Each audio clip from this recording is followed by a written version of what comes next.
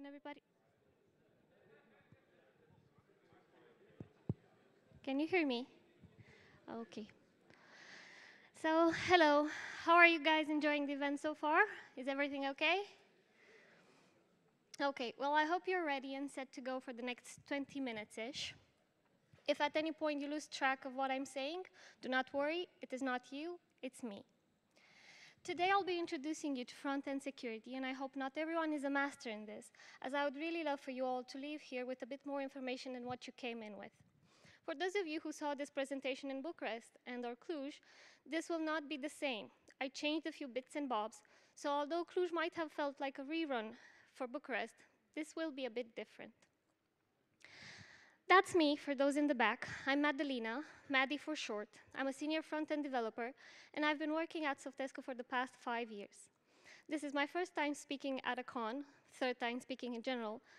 They say third time is a charm, so we'll see how this goes. Now that we got acquainted a little bit, we can get down to business. What do you guys hear of when you think of security in web development? Would anyone want to have a go at it and shout something I won't hear? Okay, I'll tell you what I used to think. In the past, I would have been tempted to pin the security issues on the backend developers or on the DevOps. From a front-end developer's point of view, I might have even pinned that on the QA department. Teach them to say not according to the design to me. We don't do security. We're mythical creatures. We take the designer's vision and the backender's implementation, and we make all of that look pretty for the final user. We make everything look flashy. Well, yes and no. I mean, we are indeed mythical creatures. There's no doubt there. But we also have the same level of responsibility when it comes to securing our web pages, just like everybody else does. The number of websites have, attack on websites have increased over the years, and the internet has become somewhat of a dangerous place. We all heard of at least one case where millions of personal information have been leaked to the public, Users entrust us with uh, sensitive information like email addresses, social security numbers, credit card details, and such, and we're responsible for securing it as much as possible. Securing our websites requires a combined effort across the whole website. While it's true that the user data the, is stored on the server and accessed through the backend, the same data is ultimately retrieved and displayed in the front-end application, creating an excellent opportunity to steal it. A front-end vulnerability happens when someone is able to harm your website application or users without ever having to gain access to a server, to a database, or hosting provider. Today, we will brush off the surface of this topic. We will look at threats and where they come from and what, they can, and what we can do to increase our protection for our web applications against the most common attacks like SQL injection, cross-site scripting, cross-site request forgery, and then we'll look at some other threats. The SQLI hap attack happens when an attacker is able to execute arbitrary SQL statements on a database through a web form field or URL parameter, making it possible for them to gain access and manipulate said database. They can access data on the server, create new identities with administrator rights, and just destroy or modify the data without ever taking into account the user's permission. The Open Web Application Security Project rated the, the number one attack on their OWASP top 10 as being the SQLI in both 2013 and 2017. Hacksplaining said that if you only have time to protect yourself against one vulnerability, you should be checking for SQL injection vulnerabilities in your code base. There are four forms of SQLI, and we are going to look at them in a bit more detail. Incorrectly filtered escape characters. This happens when a user's input was not filtered for escape characters, letting it pass an SQL statement, making it possible to manipulate the statement performed on the database by the end user of the application. Let's consider the following query, where we have a list of users with a particular name, and that name has been supplied from an HTML form. While entering a real name here will have no side effects, an attacker could change the behavior of the statement to something like the following. We see here that the text after the first equal sign above was used as the username. The statement deletes the user table and selects all data from the user info ta table, thus showing all the user information. This sort of attack happens because we did not make sure that the data that was supposed to be passed to the SQL query will not change the nature of it. a solution is to escape all characters in the user input that mean something to SQL. If in our example we would have escaped the single quote character, then we would have treated the name as part of a string. Now we have a very weird name as the whole string, but a string nonetheless. Web frameworks will often take care of this escaping for you. Incorrect type handling occurs when a user input field is not strongly typed or it is not checked for type constraints. If we will have a statement that uses a numeric field, but we won't make checks to see if the user did input a numeric value, we will just enable an attacker to add a string. So because the programmer meant a variable to be a number but didn't check for it, an attacker could just add the following input, dropping all the users from the table. Blind SQL is used when a web application is vulnerable to an SQL injection, but the result is not visible to the attacker. The page with the vulnerability may not be the one that displays data, but will display differently depending on the results of a logical statement injected in the legitimate SQL statement called for that page. This has been time, considered time invasive because a new statement needed to be crafted for each bit recovered, and the attack may consist of many unsuccessful requests. Recent advancements have allowed each request to recover multiple bits, allowing for more consistent and efficient extraction. Second order SQLI occurs when submitted values contain malicious commands that are stored rather than executed immediately. In some cases, the applications may correctly encode an SQL statement and store it as a valid SQL. Then another part of the application without control to protect against SQLI might execute that stored statement. This attack requires more knowledge of how submitted values are later used. Automated web application security scanners would not easily detect this type of SQLI, and many need to be manually instructed where to check for evidence that this is being attempted. Before we go to our next threat, cross-site scripting, let's take a look at the basic concept of same origin policy. SOP means that websites are not allowed to retrieve content from pages that are not within the same origin. This will prevent random sites from sites to read or modify data from a Facebook page, for example, while logged into them.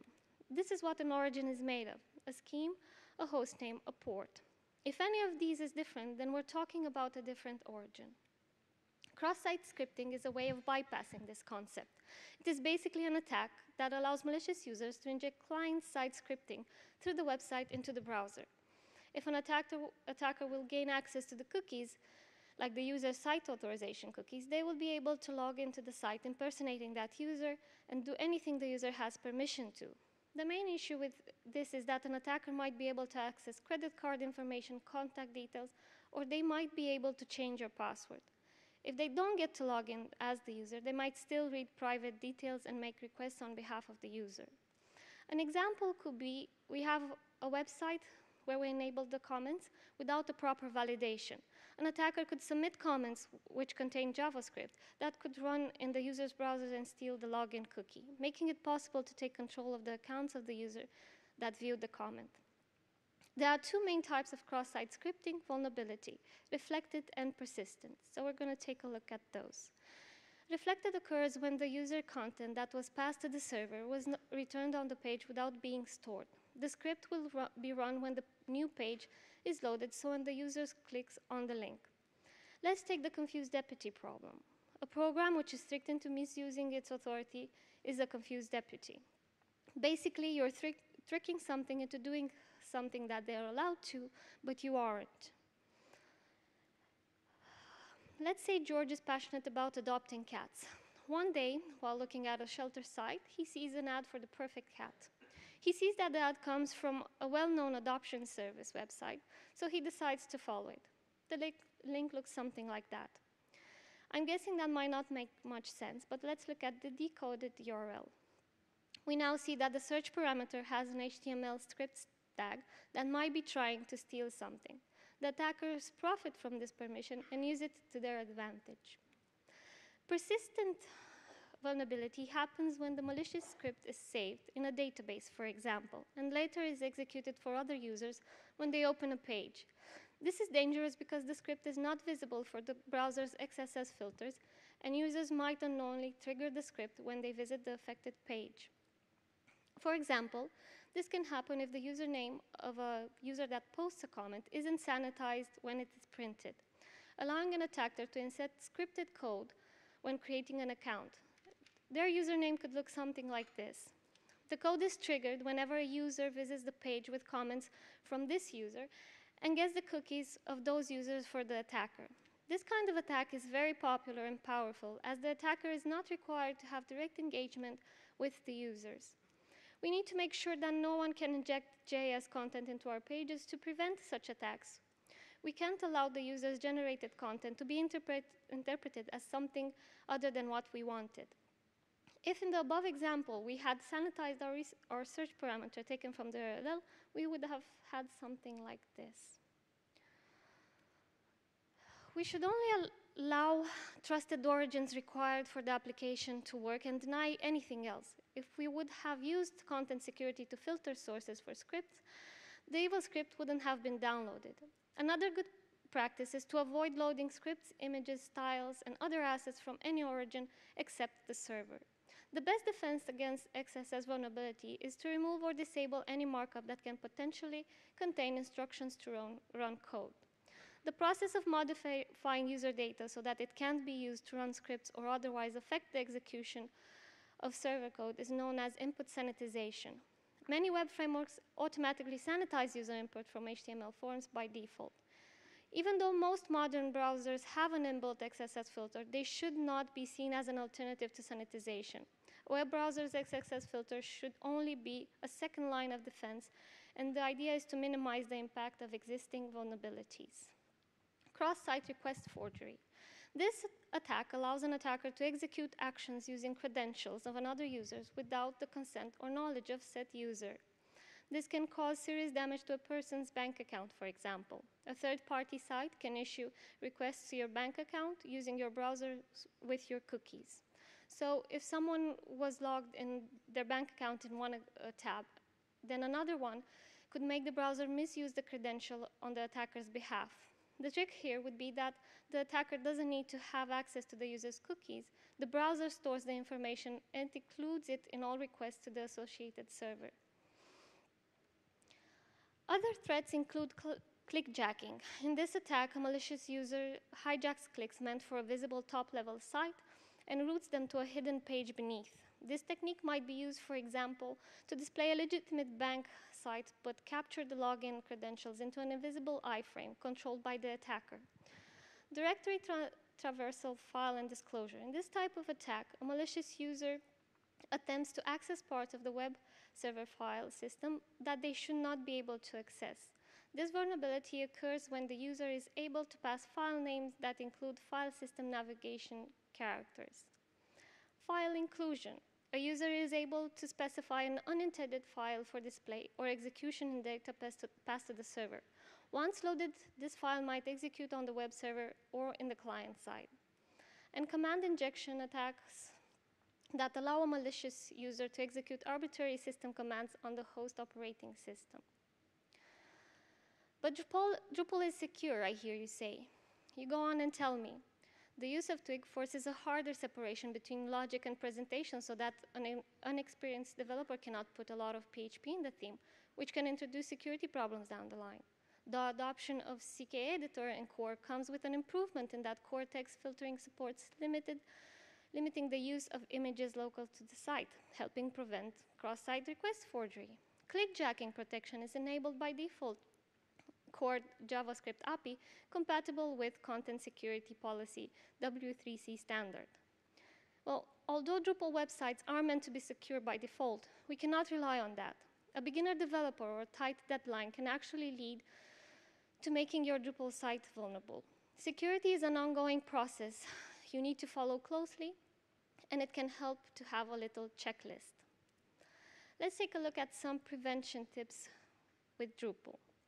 Review content types to ensure that all sensitive information, such as user photos and other sensitive files, are uploaded as private files. Implement one or more of the Drupal modules for password management, encourage, encouraging strong passwords that are changed regularly, and considering two-factor authentication.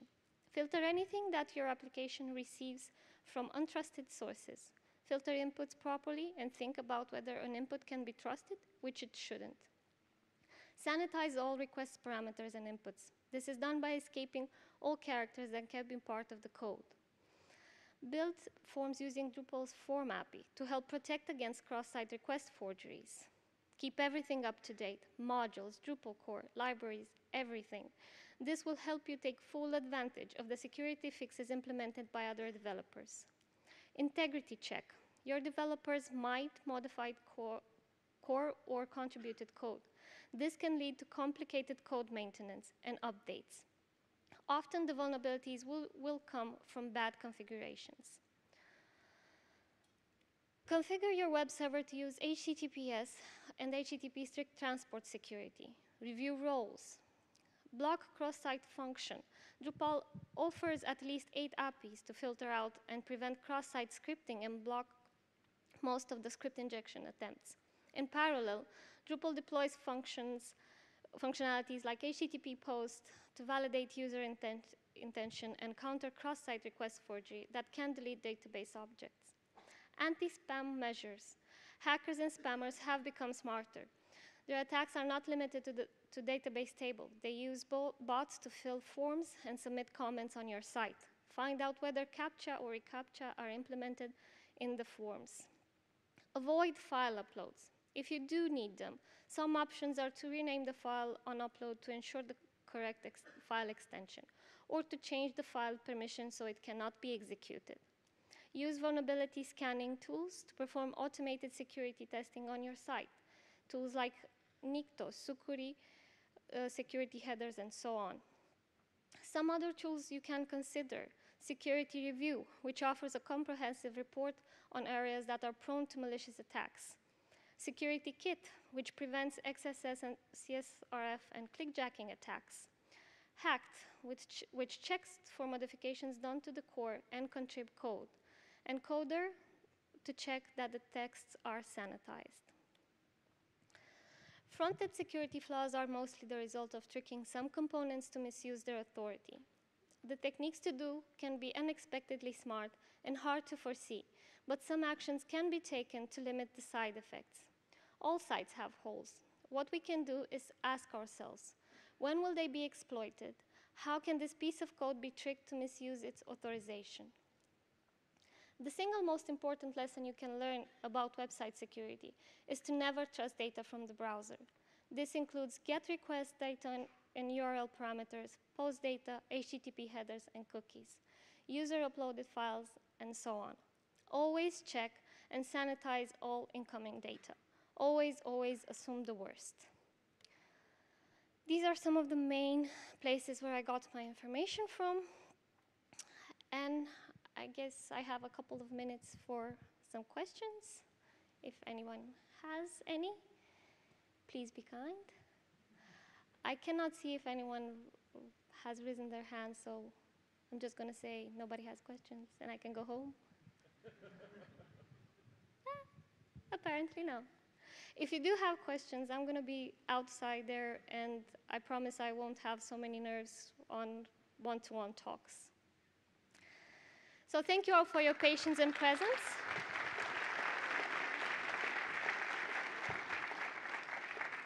Hope you all have a nice day and enjoy the rest of the event.